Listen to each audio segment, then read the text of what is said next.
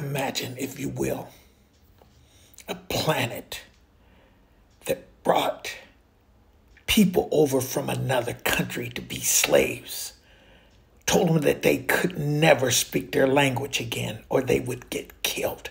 On the way to this place called America, when the black people from Africa got sick, they threw them off the boat. They beat them. They raped the women, children. It didn't make a difference. They bring them to a country enslaved hundreds of years. Now, let me bring you up to date. 2021. It's called slavery by a different name. Same thing happens. Same thing is going on. Injustice. This time they lock them up in prison and make them work for free. Maybe 50 cents a day. Slavery by a different name. Can you imagine walking down the street?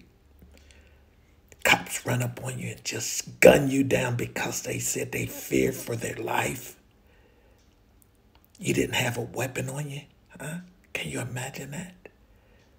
Can you imagine selling cigarettes or CDs, getting murdered for it, walking in Walmart where you picked up a gun that they were selling, a BB gun.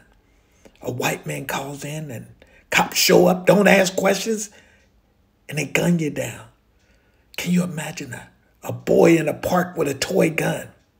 Cops pull up and get out the car in two seconds, they shoot him dead because they say they thought it was a real gun, even though he was not threatening anybody. Imagine, if you will, a black man walking through a neighborhood, a construction site. He walks in just to see what kind of work they're doing. He comes out and three white men gun him down because they said that he was breaking in. He was just jogging in the neighborhood.